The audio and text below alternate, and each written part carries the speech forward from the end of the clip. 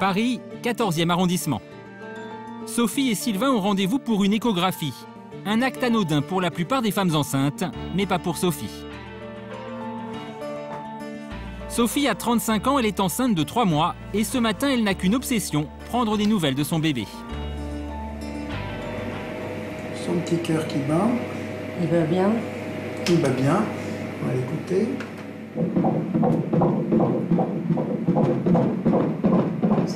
Rapide. C'est normalement rapide parce que les, les petits fœtus comme ça, ils ont besoin d'énormément d'énergie. Il est d'eau. assez gros et tout.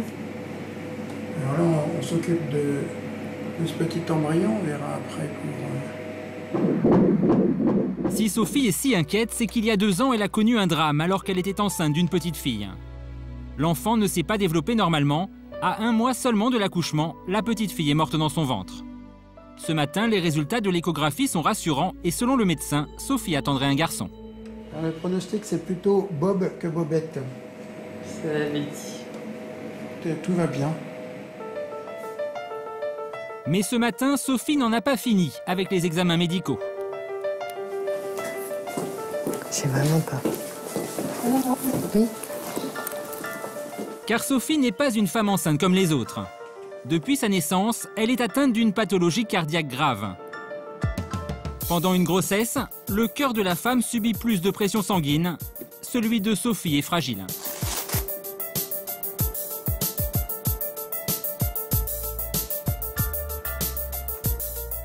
Sophie s'est lancée dans cette grossesse au péril de sa vie.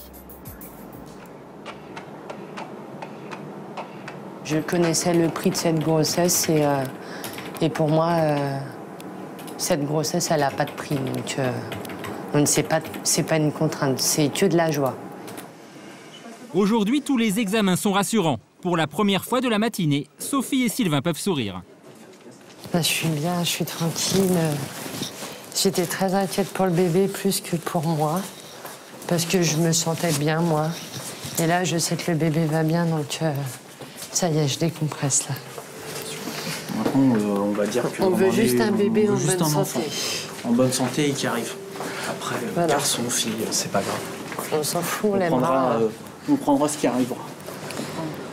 Je sais pas, on va- pour l'instant, je suis. Pour l'instant, je suis rassuré. Maintenant, on- Tout va bien pour l'instant. Cette nouvelle, Sophie a hâte de l'annoncer à sa famille. Ses parents, sa sœur, anxieux, ils se sont tous réunis pour attendre les résultats. C'est bien Ouais. C'est bien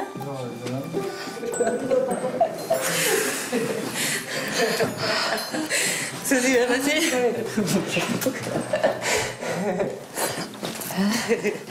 Oh, c'est bête C'est Tata Et le bébé, il va bien.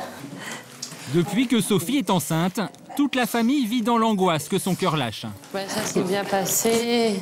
Tout va bien Ouais, tout va bien, le cœur va bien. elle a dit que ça allait bien. Ça n'a pas bougé, ça n'a pas grossi, alors qu'à la première grossesse, ça avait déjà grossi, ça avait déjà bougé. Les résultats de son cœur sont bons et Sophie a une nouvelle à annoncer. C'est Bob ou Bobette? C'est Bob ouais, c'est Bob. Ce matin, j'ai dit à Delphine, j'ai dit si elle me le dit pas, ça m'est égal, je suis sûre que c'est Bob. Regarde, t'as vu sa petite tête? Regarde, Roman. C'est la tête du dos du bébé qu'il y a dans le ventre de Tata. Le traumatisme de la première grossesse de Sophie est encore présent. Alors ce matin, pour toute la famille, le même espoir, que Sophie mène sa grossesse à terme, sans encombre. Aujourd'hui, cet enfant que j'attends, je suis sûre qu'il ira bien et que c'est juste une nouvelle histoire qui va commencer et une belle histoire. Mais là, voilà. Non, mais là, ça y est. Elle est partie pour Voilà, voilà, c'est bon. Là. Une belle année. Va être une belle année, j'espère. Tout va être beau, tout va être bien. Cinq mois et demi à attendre. Cinq mois d'espoir, mais surtout d'angoisse, que toute la famille va partager. À quelques kilomètres de Bar-le-Duc, dans l'est de la France. Il était réveillé Oui. Ah, mon petit cœur. Fin de sieste pour le petit Zanoa, un garçon âgé d'à peine 9 mois. Petit homme. On s'adore tous les deux. C'est un bon gros pépère. Étonnant, mais moins d'un an après la naissance de Zanoa, Virginie est de nouveau enceinte. Il faut dire qu'elle est loin d'être une mère ordinaire. Virginie et Philippe sont les parents de Zanoa, mais aussi de Zéphéline, Ziriaco, Anselme, Anaël, sans oublier Amélia, Amandine, Alexandre et bien d'autres. Le couple a eu 15 enfants. 8 filles, 7 garçons, le plus jeune a 9 mois, le plus âgé 22 ans. Virginie a passé plus de 11 années de sa vie enceinte. Aujourd'hui, à 42 ans, elle attend un enfant pour la 16e fois. On n'aime plus avoir des enfants, on savoure. Maintenant, on ne parle plus de- d'aimer pouponner, on savoure chaque moment, on, on les apprécie euh, différemment, c'est plus fort, plus il y a d'enfants, c'est de plus en plus fort. Cette 16e grossesse est encore un secret pour les enfants. Virginie a choisi la fin du déjeuner pour leur annoncer. Une occasion spéciale. Aujourd'hui, c'est l'anniversaire de Zéphania, 6 ans, leur 11e enfant. Autour de la table, on va faire souffler les bougies. Alors attention, à 3 tu souffles tes bougies. Hein. Allez, prends ton souffle. 1, 2, 3. Allez encore, encore, encore, encore, encore, encore une. Ouais, bravo. Joyeux anniversaire. Joyeux anniversaire. Et pour annoncer la nouvelle à toute sa famille, Virginie a imaginé un moyen original. Joyeux anniversaire. Je t'ai vu, t'as pas chanté, toi. Bon, moi je crois que j'ai un cadeau pour toi là. Son cadeau, une poupée plutôt inhabituelle. Elle a un bébé, elle a un bébé dans le ventre. Ouais, c'est comme maman. Pourquoi maman a déjà eu des bébés Eh, eh, Zéphania, tu sais, tu sais quoi? Non. Tu sais quoi? Eh ben, Maman, elle en a encore un dans le ventre. Hum, C'est vrai? Eh, vous savez Elle pleure. Pour les enfants, la surprise est totale. Les plus jeunes ont du mal à réaliser. T'as compris? T'as pas compris? T'as pas vu que regarde? Bah si. Que maman va avoir un bébé? Là donc vous serez plus 15, on sera, vous serez 16. Malgré les rires, certains ne cachent pas leur inquiétude. C'est le cas d'Anaël, 19 ans. Pour elle, une angoisse qu'à 42 ans, sa mère ne se soit lancée dans la grossesse de trop. Content Hein Parce que je sais qu'elle est heureuse euh, quand elle a un bébé, tout ça. euh, donc ça me fait plaisir pour elle. Mais je suis un peu émue parce que j'ai pas envie qu'il lui arrive quelque chose non plus. Voilà. Non, mais c'est- c'est Non, vrai c'est qu'on a- très, euh, c'est très suivi. Et euh, le moindre petit souci qu'il puisse y avoir, euh, aussitôt, euh, le médecin. À partir du moment où j'écoute mon corps, que. Je suis quand même euh, je suis prudente, je fais, je fais ce qu'il faut. Donc il n'y a pas lieu de s'inquiéter. Donc c'est vrai que je leur dis, je leur dis à chaque fois. hein. Et puis euh, on va encore le prouver cette fois-ci. Oh, qu'est-ce qu'il y a dedans? Un bébé. Ah, bon effet. Tout petit bébé comme maman elle va avoir. Ouais, le mien, il est tout petit comme ça, ouais. Puis après, il va grandir dans mon ventre. Puis après, ça fera un bébé un petit peu plus gros, plus gros, plus gros, puis ça fera comme Zanoa. Ici, il y a un bébé. Ouais, là, tu vois, là. Dans quelques mois, la famille s'agrandira donc de nouveau. La collection de Virginie s'enrichira d'un 16e album photo. C'est qui le petit garçon là? C'est maman? Ça, c'est maman. À Marseille, fin d'emménagement pour Lola et Jessica. Elles viennent tout juste de louer un deux pièces de 35 mètres carrés. Tu veux pas qu'on les trie euh, pour en garder encore? On peut garder quand même pour la chambre là Ouais, ça marche. veux. Pour ces deux jeunes femmes homosexuelles, il y avait urgence. Dans deux mois, Lola donnera naissance à son premier enfant. C'est le salon et où on dort parce que la, la seule chambre elle est pour la petite. C'est un peu le bazar parce qu'on n'a pas, on n'a pas trop de place et il y a des cartons, c'est un peu tout empilé là. Avoir un enfant, une décision exceptionnelle, à un âge où d'autres sont encore au lycée. Car Lola, la future maman, n'a que 17 ans.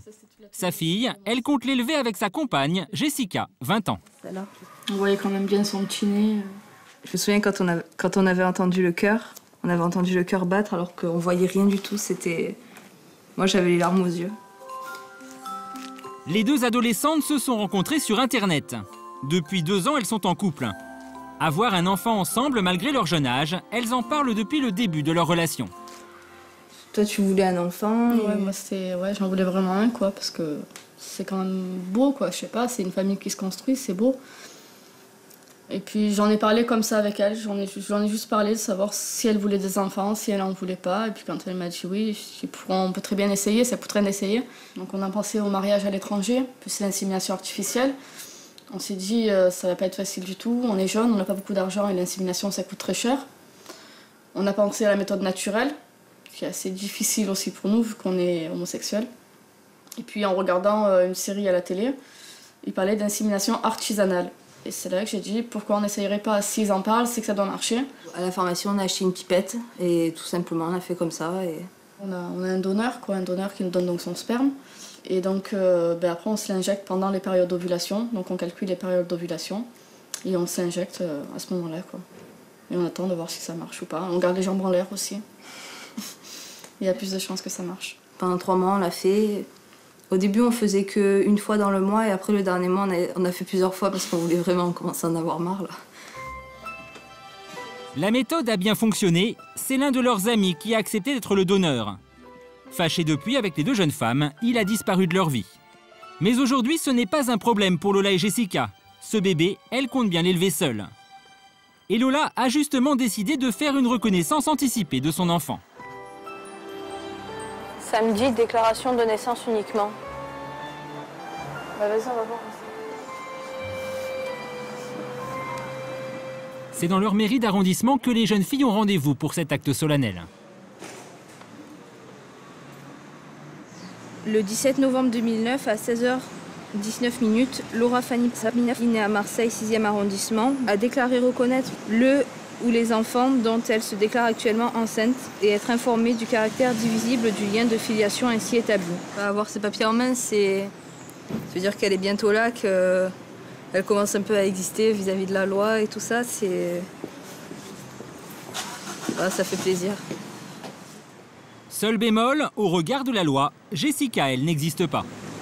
Ça dérange un peu, je veux dire, je vais l'élever, euh, je vais l'élever comme un père aurait pu le faire ou comme une maman on peut le faire quoi. Donc euh, de pas de pas être affiché sur les papiers, d'être rien au niveau de la loi, c'est pas facile non plus quoi. On espère que les mentalités, ça va, ça va évoluer et qu'un jour, euh, elle pourra avoir sur le livret de famille Jessica Strianaise en maman et, et moi aussi.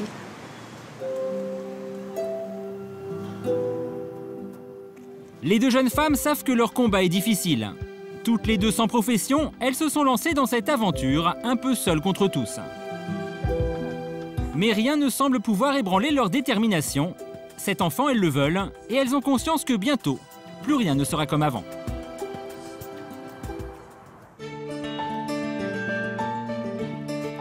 Retour avec Sophie à Saint-Gratien dans le Val d'Oise. Elle entame son cinquième mois de grossesse. Jusqu'à présent, les examens médicaux sont rassurants. Malgré sa fragilité cardiaque, l'enfant et la mère se portent bien. Pourtant, Sophie est loin de crier victoire. Elle sait mieux que quiconque que le chemin jusqu'à l'accouchement est encore très long. Maya La jeune femme est incapable de profiter pleinement de sa grossesse. Chez elle, elle ne cesse de repenser à la mort in utero de son premier enfant et vit dans l'angoisse que ça se reproduise. Moi, déjà, sentir le bébé bouger, ça me rassure parce que des fois, quand je ne le sens pas bouger, euh, je le bouge un peu dans tous les sens euh, pour le réveiller. Parce que euh, moi, ça me rappelle toujours que le soir où j'ai pas senti la mienne bouger, c'est parce qu'elle était simplement en train de s'en aller, quoi. La future chambre de son fils, la voici. Rien n'est encore installé, une volonté de Sophie. C'est dans cette même chambre que leur petite fille aurait dû grandir. À l'époque, plusieurs mois avant l'accouchement, tout était prêt pour l'accueillir. Pendant que moi j'étais en train d'accoucher, en fait, euh, euh, Sylvain et ma mère euh, sont venus et ont, rangé toutes les affaires parce qu'en fait la veille j'avais tout, J'avais tout lavé, tout était sur les tendoirs à linge, tous les petits pyjamas. Tout, était rose. Je me rappelle, Sylvain, il disait toujours, mais attends, ça, va être un bonbon rose. Et donc moi, après, quelques temps plus tard, j'ai mis euh, peut-être six mois. euh, je pense qu'il a fallu quand même un peu digérer. Et quelques temps plus tard, euh, je me suis débarrassée, j'ai vendu la chambre de la petite. Parce que même si on avait un autre enfant, il n'était pas question qu'on lui redonne la même chambre. Préparer la venue du bébé, c'est une épreuve pour le couple, presque un tabou. Ce matin, Sophie et Sylvain se rendent dans un magasin spécialisé. Un simple repérage. Par superstition, pas question d'acheter le moindre article avant la naissance de leur enfant. C'est la Ferrari du, de la chasse haut. Si vous voulez un, un- un modèle précis, il vaut mieux le commander dès maintenant. Non, je vous voulez rien maintenant. Non. Là, on va voir les chambres.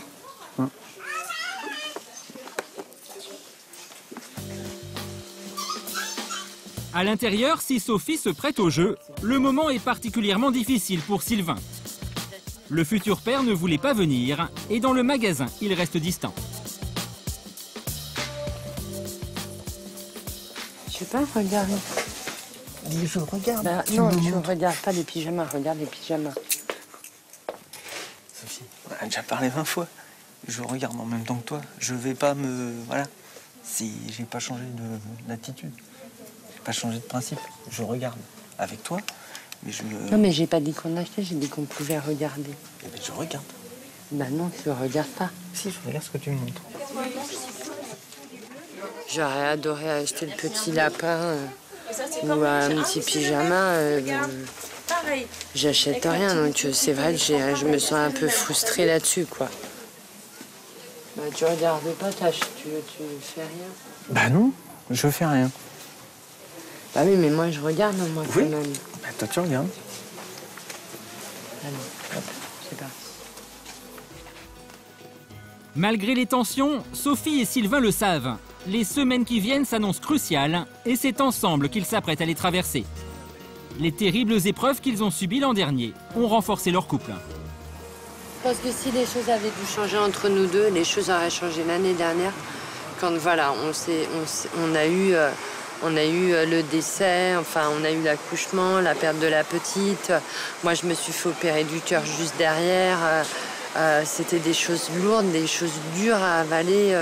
Moi j'étais quand même en souffrance cardiaque grave, donc euh, faut être honnête, on savait pas si j'allais m'en sortir ou pas. hein. J'ai vraiment eu très chaud. Voilà, je pense que c'est à ce moment-là où le couple aurait pu péter. Je souhaite à personne ce genre de, de choses, quoi. Je veux dire, parce que c'est. euh, je comprends, mais je peux comprendre qu'il y ait des gens qui, euh, qui explosent en plein vol, quoi. J'appréhende un peu plus ce dernier mois. Je pense qu'il sera peut-être un peu plus chaud moralement euh, pour moi à me dire euh, allez, c'est bon. euh, je pense que je vais compter les jours là sur le dernier mois. Pour ce couple soudé, l'attente sera difficile à vivre.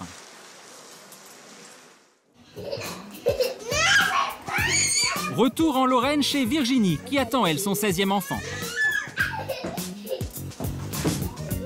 Être enceinte et mère de famille très nombreuse, ça demande une sacrée organisation. Pour Virginie et Philippe, c'est jour de ravitaillement au supermarché.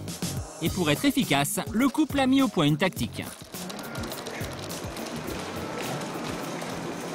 Alors en fait, on va, on va prendre chacun notre petite liste et puis on va se séparer. Hélas. Parce que généralement, il fait tout ce qui est lourd, euh, encombrant, enquiquinant, mettre dans le caddie. Donc il a sa petite liste et moi j'ai la mienne. Là, c'est en moyenne euh, 6 à 7 litres de, 6 à 7 litres de lait par jour. 50 litres de lait, mais aussi une cinquantaine d'œufs ou 15 litres de jus de fruits. Philippe est ouvrier agricole. Il gagne 2000 euros par mois. Avec les allocations familiales, le couple touche 4000 euros. Les courses, c'est un quart de leur revenu. En principe, moi, euh, j'ai j'ai toujours à peu près les mêmes produits de base, donc je ne fais pas. Bon, je compare un peu, des fois je regarde un peu les dates ou les, les- les prix, mais c'est rare. Maintenant, je connais presque tout par cœur. De son côté, Virginie, elle, s'occupe de son rayon favori. Rayon bébé. Enceinte de 6 mois, Virginie doit accorder encore beaucoup d'attention au petit dernier de la famille, Zanoa, le 15e. tout juste un an. Petit doudou qui est assez difficile, qui refuse tout ce que je lui fais. C'est angoissant parce que c'est vrai que je ne sais pas quoi lui donner. Euh, Bon, je pense qu'il doit sentir l'arrivée du, petit frère ou de la petite sœur. Alors je pense que c'est sa manière à lui aussi de, se dire moi je suis encore un bébé, donc euh, occupe-toi de moi, je veux pas trop grandir, faut être cool. C'est petit, pas longtemps. Une fois que c'est rentré à l'école, c'est une partie de nous qui. Ils sont, on les a pu à nous, hein. c'est ce qu'il faut se dire. hein. En à peine une demi-heure, les courses sont bouclées. Les journées sont chronométrées, pas de temps à perdre. Philippe repart travailler, Virginie rentre à la maison. Car ici, tous les jours, il faut servir le déjeuner à neuf enfants. Pommes de terre, haricots verts, saucisses. Puisque tu l'as demandé la première, je te sers.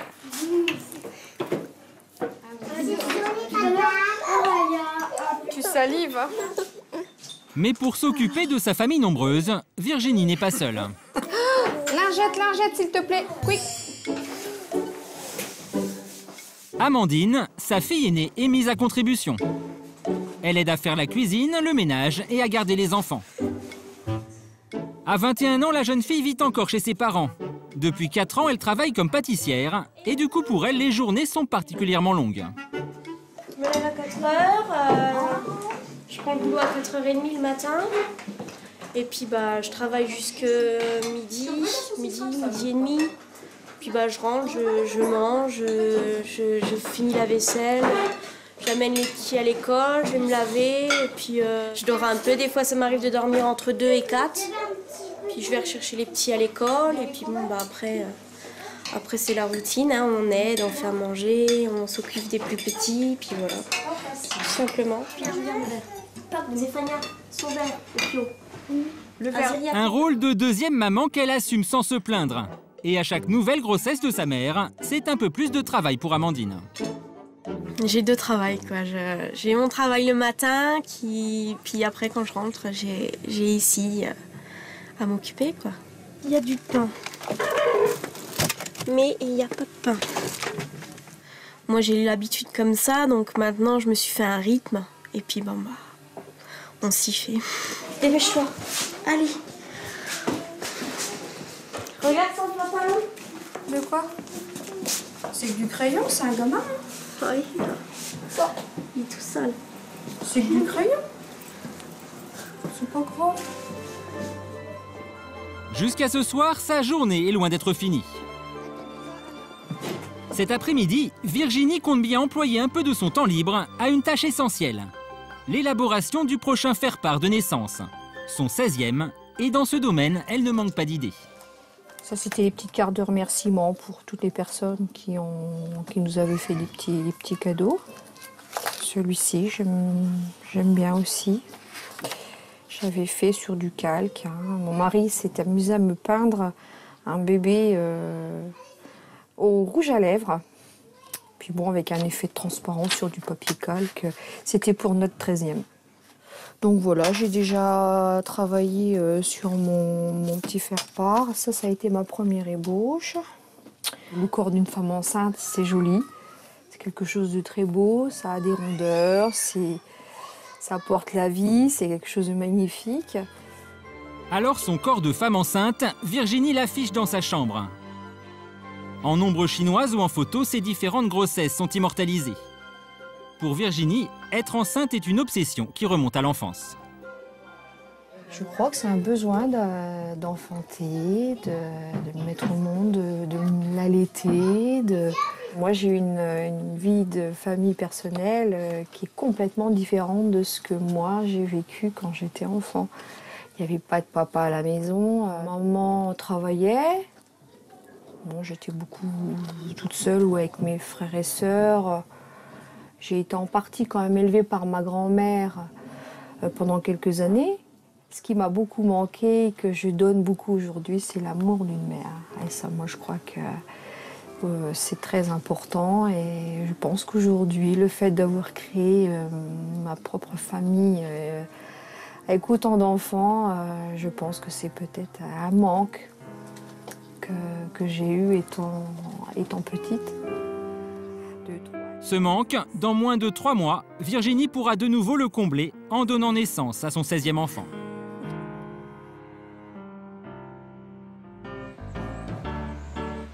À Marseille, Lola entre dans son huitième mois de grossesse.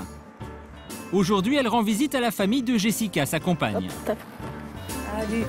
Va bien? Ouais, ça va. Coucou, La mère de Jessica, sa grand-mère, mais aussi Cyril, un ami et futur parrain de l'enfant. Thank you, patate. Il est bien, hein? Merci. Aujourd'hui, la famille de Jessica a accepté la situation des deux jeunes femmes. Mais au départ, cela n'a pas été simple pour tout le monde. J'ai accepté euh, aussitôt, bah, avec mes réticences, bien sûr. Il y a des, moi, j'ai des limites qu'elle ne doit pas dépasser, Jessica le sait. Hein, je ne veux pas les voir se tenir, se voir s'embrasser comme. euh. Je le sais, euh, maintenant je l'ai accepté. euh, j'ai après, j'ai appris qu'elle était enceinte. Bon, ça va, j'ai accepté. Maintenant, je ne vois pas de, de, de- différence, quoi. Par rapport à votre, votre situation, vous allez avoir des barrières. Ça, il faut bien vous le mettre dans la tête, des barrières, vous allez en avoir. Ça, vous allez en avoir, euh, ben, bon là, à la naissance de la petite, parce qu'il y a des gens, ils vont pas comprendre votre homosexualité, il faut être honnête. hein. Il y en a qui sont ouverts, il y en a qui sont pas ouverts. Lola en sait quelque chose. Son homosexualité et sa grossesse, elle a du mal à les faire accepter à sa propre famille. Quand j'ai annoncé à ma famille que j'étais homosexuelle, ils ont eu plus du mal. euh, Ils l'ont mal pris quand même. Et après, ils l'ont accepté. Et c'est vrai que le fait que je sois en couple avec une fille et que, que je sois enceinte, ça a été plus dur pour eux. Mais Pourtant, les deux jeunes femmes se veulent confiantes et bien décidées à ne rien cacher à Elijad, leur petite fille. Ouais, mais la petite, elle sera plus apte à comprendre aussi, parce qu'elle grandit dans ce milieu-là, donc euh, pour elle, c'est plus facile. Je sais pas. Après, c'est sûr, euh, je dis Je pas que pas, je dis pas qu'elle sera en mal-être. Peut-être que peut-être ça, ça peut arriver qu'elle soit en mal-être euh, à l'école quand, tout le monde va se moquer d'elle parce qu'elle a deux mamans ou. Non, pas, je pense pas à Oui, un mal-être, mais ne- de ne pas comprendre.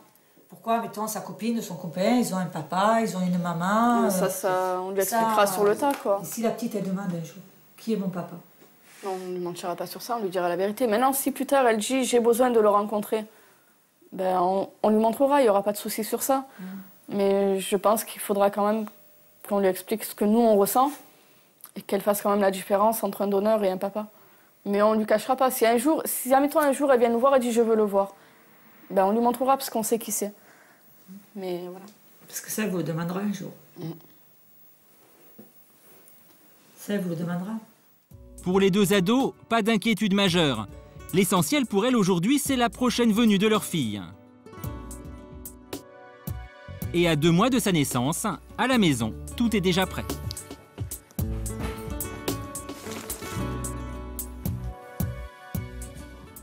Est super beau. Oh, il y a une vache. on a du mal à s'imaginer quand même que là, c'est bientôt dedans et que ça va faire du bruit et tout ça. Ah, c'est ça. Mais où? On n'a plus de place Euh, mais lui sur son lit. La future chambre d'Elijad est déjà pleine à craquer. Pour ces deux jeunes femmes qui touchent 600 euros par mois, il a fallu se débrouiller, pratiquement que de la récup. Ça, c'est des vêtements jusqu'à 9 mois. C'est tout ça de vêtements. Ça, c'est le couffin de, de la poussette qui est en haut. Le stérilisateur de biberon qu'on a récupéré. Il est. Il est en bon état pour, un, truc récupéré qui a servi pour deux enfants déjà. On a récupéré beaucoup d'affaires par ma voisine qui, qui avait eu deux petites filles. Et sinon, sur internet, sur euh, deux sites internet, on, on regarde tous les jours s'il n'y a pas des choses à récupérer, même pour l'appartement. On a récupéré la cuisinière. Pour euh, plein de choses, on a pu récupérer. Ça, c'est vrai que ça nous a aidé parce que je, touche le RSA euh, par la CAF. Et, Jessica, ben, elle recherche du travail et après, dès qu'elle en aura, on, on aura un peu plus de moyens. Pour l'instant, on s'en sort, euh, sort comme ça. Pour accueillir cet enfant qu'elles ont voulu à tout prix, les deux mamans devront attendre encore deux mois.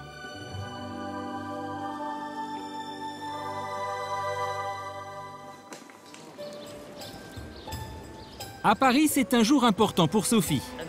La jeune femme, surveillée médicalement, doit enchaîner aujourd'hui de nombreux examens. Pour elle, le temps presse, elle entame son huitième mois de grossesse.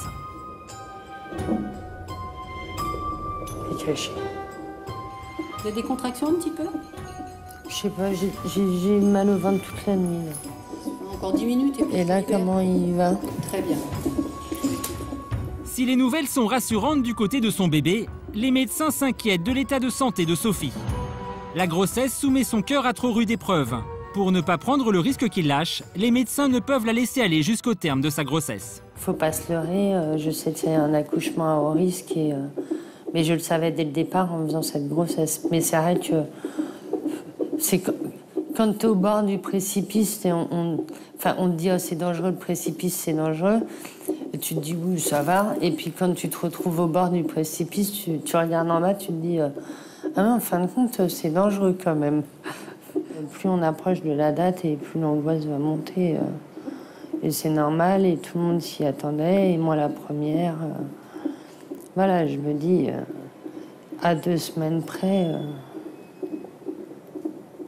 f- faudrait pas qu'il me laisse, qu'il me laisse en route, quoi.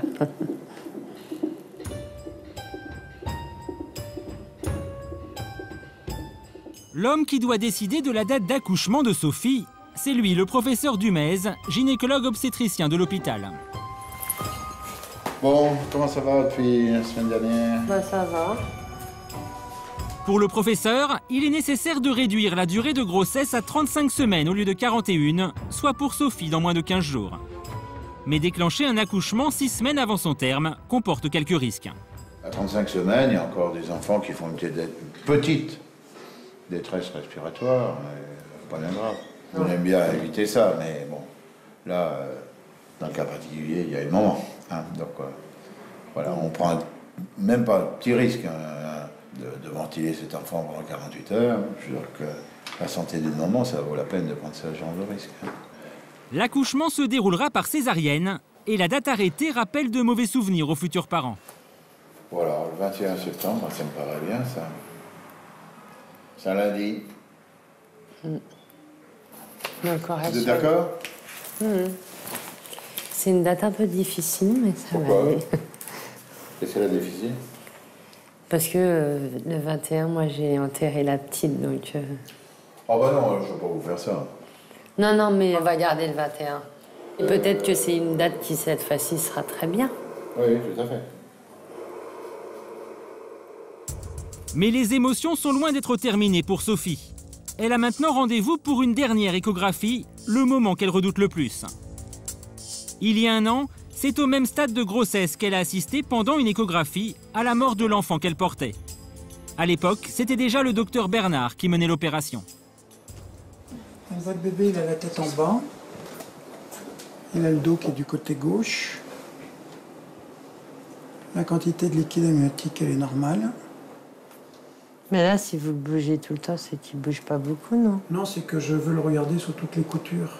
Donc on a un bébé qui a un développement qui est tout à fait bien, avec un poids qui est estimé aux alentours d'un kilo neuf, ce qui est tout à fait normal. Un kilo neuf Oui, c'est un poids qui est à peu près à 10 ou 15% On a une fourchette de poids qui est de l'ordre de 10 à 15% Ça fait vraiment un bébé de petit poids, quoi. Alors, ça fait un bébé de 35 semaines de toute façon, mais en termes de poids, on est sur un poids qui est strictement normal. Mais là, vous n'êtes pas raisonnable, vous êtes inquiète pour quelque chose qui est normal. Je suis déçue. Non, mais vous êtes déçu de quoi? Parce dire, que je n'est- Ça m'attendais- n'est pas plus normal qu'un bébé soit gros qu'il soit petit. Moi, je préfère trouver un bébé qui est exactement au milieu, parce que je sais que la probabilité qu'il y ait un problème sur ce bébé à cause de son poids, elle est très faible. Pourtant, les paroles rassurantes du médecin n'y font rien. Sophie a peur que le bébé ne soit trop faible et elle craque sous la pression. Ouais, j'ai un peu la trouille, quoi, là. Hmm. Je me dis, sur la dernière ligne droite, euh, Hmm. c'est un peu difficile, quoi. J'imagine bien. Pas... euh, voilà, je suis super angoissée de ce qui peut ça- se passer, à me dire... euh, c'est pas possible que ça m'arrive une deuxième fois, quoi. Puisque j'aurais pas de troisième chance non plus de, de faire une grossesse. Donc, c'est vrai, je dois reconnaître que là, ça y est, je, je commence, ça commence à monter, monter, quoi. Parce qu'on arrive à 15 jours et qu'on arrive. euh, voilà, au moment où j'ai aussi un peu perdu la petite, donc euh, ça, ça devient dur à gérer, oui. À deux semaines seulement de la date d'accouchement, Sylvain et Sophie sont entrés dans les plus longues journées de leur vie. Cette dernière ligne droite qu'ils redoutent depuis le début de la grossesse. Tout va bien. Oui, oui, non mais voilà. En Lorraine, pour Virginie et Philippe aussi, les parents de la famille nombreuse, aujourd'hui c'est jour d'échographie. Depuis quelques semaines, Virginie sait que son 16e enfant sera un garçon. À raison de trois échographies par enfant, le couple en a vécu près d'une cinquantaine. Pourtant, pour Virginie et Philippe, c'est toujours la même émotion.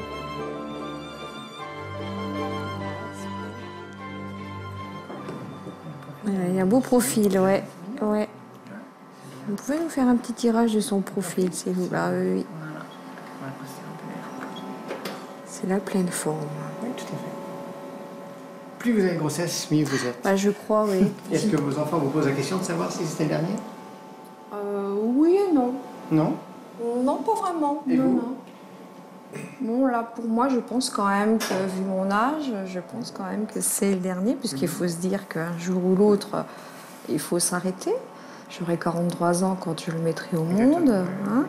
Donc là, c'est une page qui va se tourner, ça va sans doute être difficile, c'est sûr. hein. On a Oui, pu, vous euh, aimez bien être enceinte en plus. J'aime bien être enceinte, je me sens bien enceinte, j'adore euh, euh, nouveau-né, plus grand, c'est différent, mais on est très proches et, et je vous dis depuis, euh, euh, plus on en a et plus on savoure, on savoure tous ces moments-là.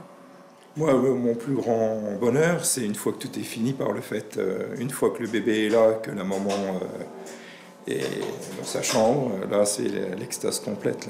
Là, là c'est là où je savoure le plus l'accouchement, en fin de compte.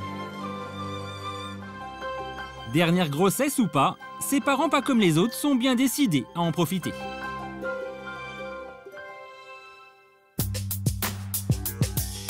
À Marseille, pour Lola et Jessica, la naissance d'Elijah, de leur fille, se fait attendre. Lola arrive aujourd'hui au terme de sa grossesse. Un événement que les deux adolescentes relaient aussitôt sur Internet. Depuis quelques semaines, elles sortent très peu et ne communiquent plus avec leurs amis que par Facebook. C'est Jessica qui se languit et qui met des pseudos toutes les 10 minutes pour dire que- qu'elle en peut plus, que j'accouche pas. Bon, mon amour, moi je dis qu'il est temps que tu accouches car toi, à la limite, tu la sens tout le temps, mais moi pas trop. Tu voudrais pas venir nous faire des câlins, Elijah Tu trouves pas que tu y es resté assez longtemps? Mais aujourd'hui, Lola est loin d'être sereine. La proximité de la naissance de sa fille commence à l'angoisser. C'est sûr, je pensais pas être autant angoissée que ça, mais bon, après, c'est. C'est normal aussi. et- J'ai hâte d'accoucher, mais j'ai pas hâte de rentrer à la maison. Parce que j'ai peur. euh, Ben, je sais pas comment on fait, c'est vrai, euh, j'ai eu des frères et sœurs, mais c'est pas. C'est pas pareil. Et. Bon, après, il y a Jessica, moi, je suis pas toute seule, ça va. Ben, j'ai peur de ne pas savoir faire, de. de si elle pleure, ça va. Dans quelques heures, c'est une toute nouvelle vie qui débutera pour Lola et Jessica.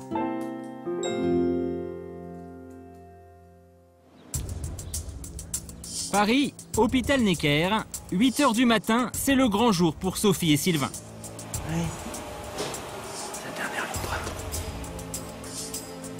Le cœur de Sophie a tenu jusqu'à la date fixée par les médecins pour la césarienne. Dernier réglage pour l'équipe médicale qui est très tendue. L'accouchement est le moment le plus critique de la grossesse de Sophie. Les risques d'hémorragie sont importants. En accouchant, c'est sa propre vie que la jeune femme met en danger. Ça va On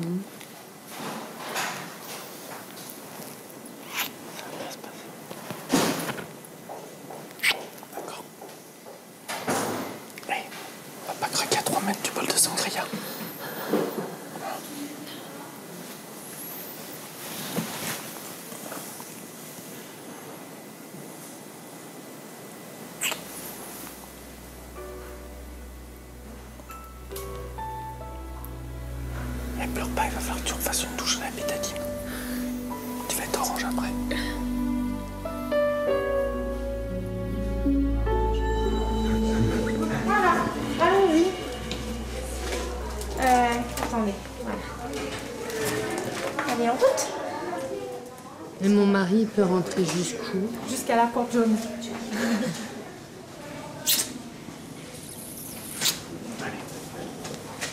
Allez.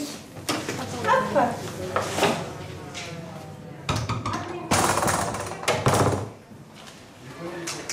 Dans une demi-heure Voilà. C'est juste pour ça, si je peux être déstressé en... Oui, allez faire un petit tour. 20 minutes, il n'y a pas de problème. Vous êtes là dans 20 minutes. D'accord. Merci. Pour Sylvain, c'est le moment le plus difficile. Impuissant, il ne peut rien faire d'autre qu'attendre. Faut faire bonne figure. Alors des deux, faut qu'il y en ait au moins un qui a l'air de dire tout impeccable. Ma m'épate, hein.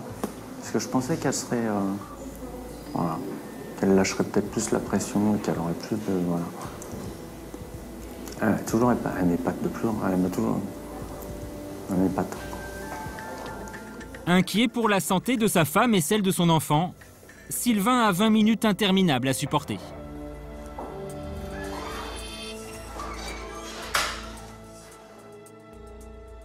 À Bar-le-Duc, Virginie aussi est à la maternité.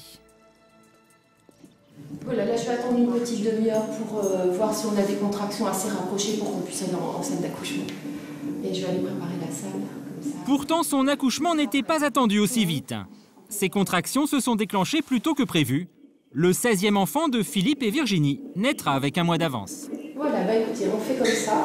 Et puis moi je repasse tout à l'heure. D'accord. Tout à l'heure. Moi, je suis super contente parce que je sais que dans quelques heures, je serai soulagée. Et voilà, donc, euh, on refait un petit monitoring, mais ça contracte. Donc, c'est bon signe. Et les ailes, moi, intérieurement, je stresse à mort. C'est vrai que, bon, chaque accouchement, de toute façon, c'est toujours le même scénario. J'ai toujours un petit peu d'inquiétude euh, vis-à-vis de l'accouchement, puisqu'il y a tout- bon, euh, 15 euh, accouchements, 15 accouchements différents. Et bon, on ne sait jamais à l'avance euh, ce qu'il peut y avoir, ce qu'on peut rencontrer. Je suis confiante quand même. Je suis confiante. Virginie semble sereine, mais alors qu'elle se rend en salle de travail, elle ne se doute pas que son accouchement ne va pas se dérouler comme prévu. Contraction. On va attendre qu'elle passe et puis.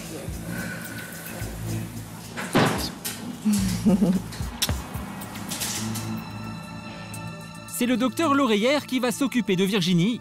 Il a déjà accouché 6 de ses 16 enfants. Mais aujourd'hui, très vite, il décèle une anomalie. Qu'est-ce que c'est? Oh là Je sens sur le côté, c'est. C'est le placenta C'est ce que j'ai perdu ce matin, moi. Le placenta s'est déchiré. Le médecin n'a pas le choix, l'accouchement se fera par césarienne. Pour Virginie, la déception est terrible.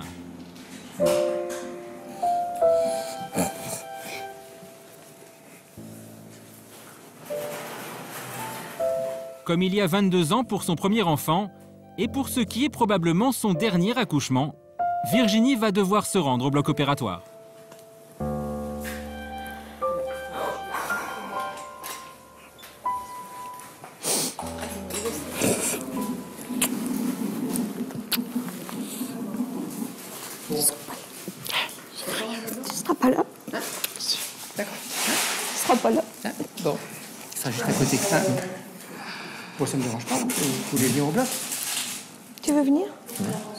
Venir au bloc S'il y a pas a moyen. Ouais. ok.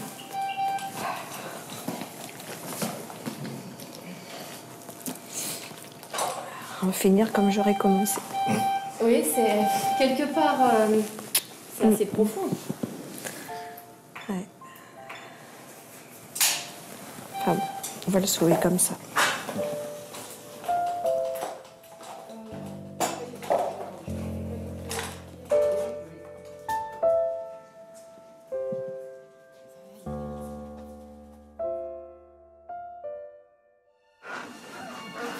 Paris, Sylvain, lui, n'a pas pu aller au bloc.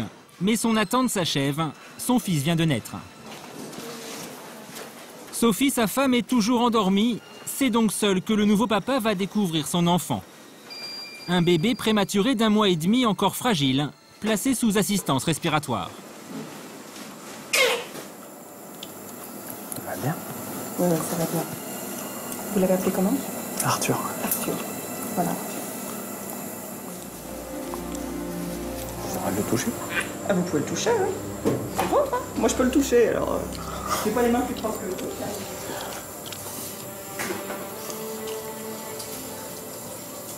Et ma femme? Alors, Jennifer, tu peux donner des, des nouvelles la maman. Je viens d'aller au bloc opératoire, ça se passe très bien, ils ont presque fini, quoi, ça va bien. Aucun souci. D'accord? Merci. Mais accroche-toi. Je vais juste à côté. Je... Parce que ta maman, elle en a fait des eff- des efforts. Toi aussi, tu vas aller en réa. Ta maman, elle va aller en réa. Puis moi, je vais peut-être faire un peu de réa aussi. Voilà. Comme ça, on sera tous les trois. Qu'est-ce que t'en penses? Hein? Tu ressembles à ta maman quand tu dors.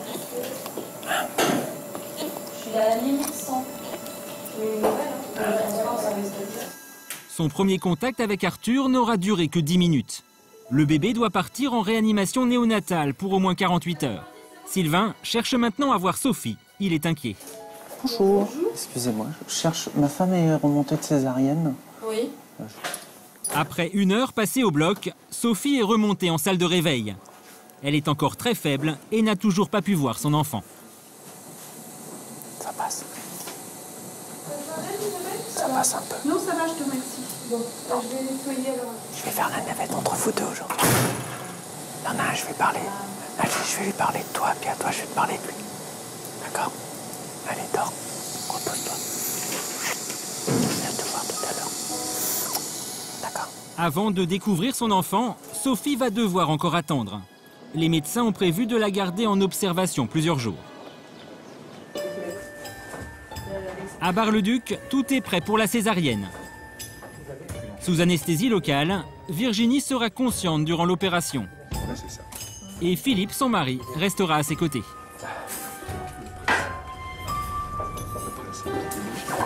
Respirez bien. Alors il s'appelle Zéchan. Zéchal. Zéchan.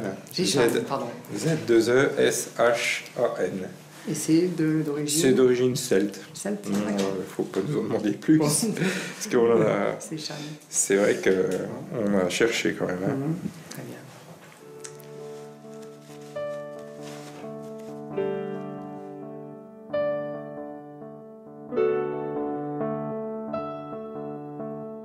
Quelques minutes plus tard, alors que Virginie est toujours au bloc, Philippe l'attend dans sa chambre, son enfant dans les bras.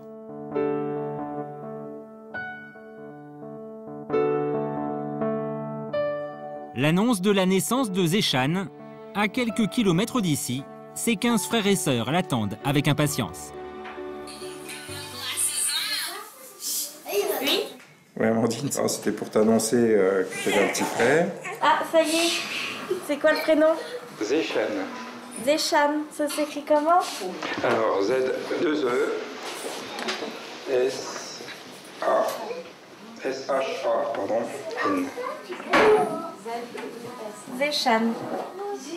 Et il pèse combien Alors, 3 kg 2. Et puis, bon, bah, maman a eu une césarienne. Ah, maman, elle a eu une césarienne. parce que ça, ça se passait pas comme on voulait, donc euh, ça s'est soldé par une césarienne, mais ça s'est bien passé. Voilà, bon, bah, je t'en dirai plus euh, demain, hein. de toute façon. Ok, bisous.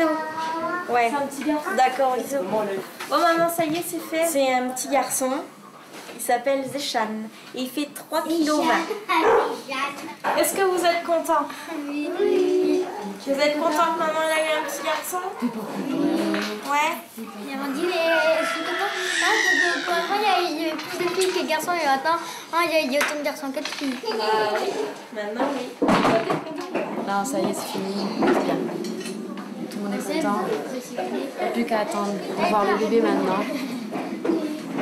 Et voilà. Ah, ah, bah, je trouve que, que, que- que c'est bien hein, de- de- de- d'agrandir encore plus la famille. Pour l'instant, ce 16e enfant, c'est Philippe qui en profite seul. Un moment rare pour ce père pourtant habitué aux naissances. Voilà, c'est. C'est la première fois que je, je l'ai aussitôt, quoi. D'habitude, c'est la maman. C'est vrai que ça fait bizarre.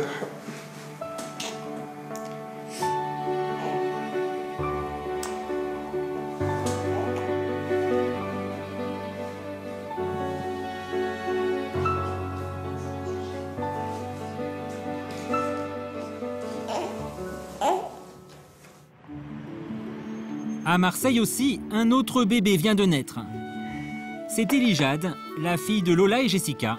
Elle a tout juste 7 jours. Qu'est-ce mon cœur Qu'est-ce que fait maman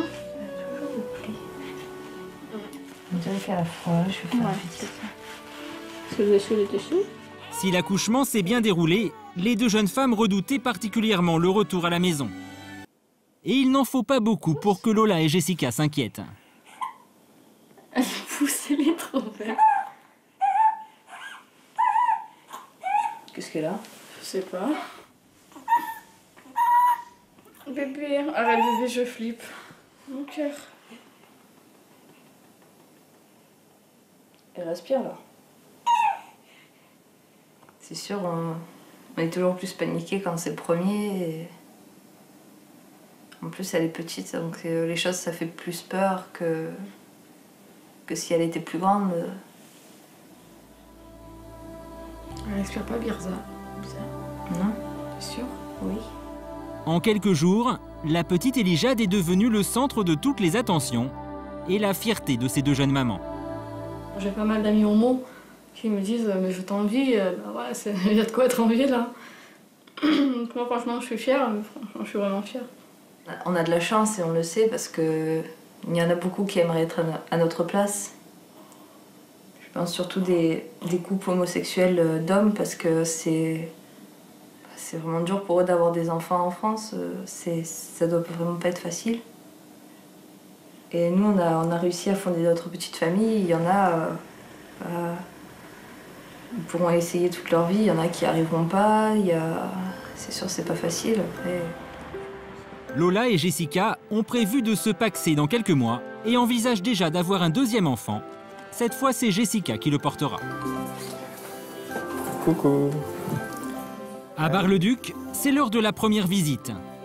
Quatre de ses frères et sœurs sont venus découvrir Zéchan, leur petit frère, né la nuit dernière. Tu joueras pas demain avec encore, hein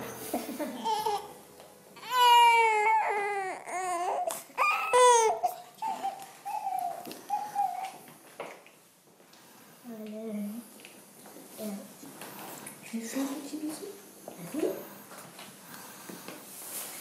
Mais c'est fragile. c'est fragile, est grand que la poupée. C'est. Presque aussi grand. Ils sont intimidés. Hein Elle nous a 16. 16 enfants. 8 garçons et 8 filles. C'est. Voilà. Alors là, on va s'arrêter là maintenant. Plus de bébé hein, maintenant. C'était le dernier. Ah bah ouais. C'est le dernier. Pour être petit, il est petit. hein.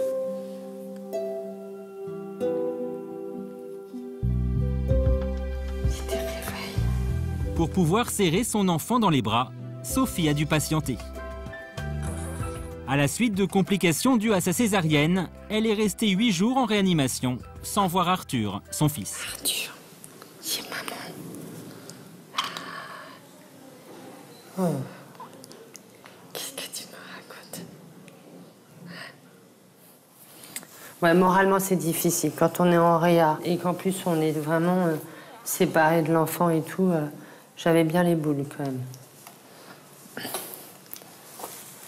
Bon, oui, regardez-moi. Est-ce que j'ai l'air d'aller mal, moi Je pense que j'ai commencé à avoir un peu faim, par contre. Va pas falloir traîner, maman. Parce que là, si tu m'as changé, ça veut dire que tu me donnes à manger. Maintenant. Je sais. Pour Sophie, le chemin de croix est enfin terminé. Son rôle de maman qu'elle a voulu, au péril de sa propre vie, peut enfin commencer. Il y a des mamans, des fois, qui me disent Oui, mais moi, on m'aurait mis n'importe quel bébé dans les bras. J'aurais pas vu la différence si c'était le mien ou celui du voisin. Moi, je savais que c'était le mien. C'était lui le mien. Notre vie va vraiment commencer à trois euh, quand on sera tous ensemble euh, chez nous. Tu rentreras à la maison, il n'y aura pas grand-chose. Il n'y aura pas de belle chambre.